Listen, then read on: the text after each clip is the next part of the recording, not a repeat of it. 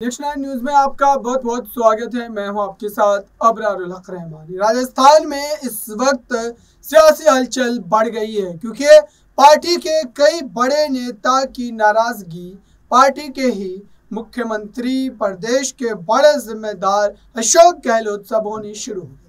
विधानसभा चुनाव से पहले इस तरीके की स्थिति का पैदा होना कांग्रेस पार्टी हाईकमान के लिए भी सिरदर्द बना हुआ है। लेकिन इस बीच प्रदेश के जो अध्यक्ष है, कांग्रेस पार्टी के गोविंद सिंह डोटासरा, वो अब इस पूरे मामले पर जो है अपनी नज़र बनाए हुए हैं और उन्होंने ये कहा है कि अगर यहाँ पर कोई भी विधायक इस पूरे मामले में कहीं से भी कोताही करता नज़र आएगा तो उसके खिलाफ सख्त कार्रवाई की जाएगी।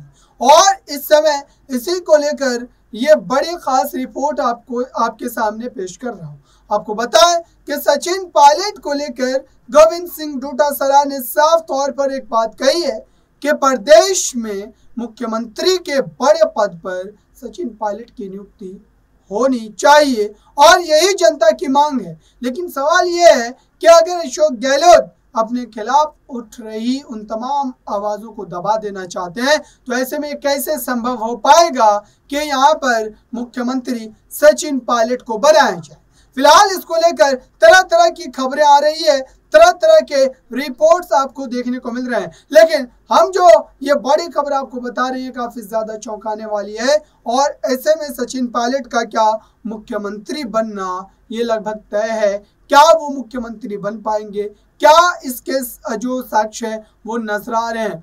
और ये फैसला लेने के बाद पार्टी में क्या स्थिरता बनी रह पाएगी? ये भी देखने वाली बात होगी। फ़िलहाल इस समय हालात काफ़ी नाजुक बताए जा रहे हैं।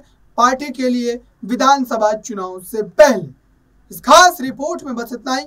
देखते रहिए ताज़ा तरीन खबरों के लिए नेशनल न्यूज़ को। धन्यवाद।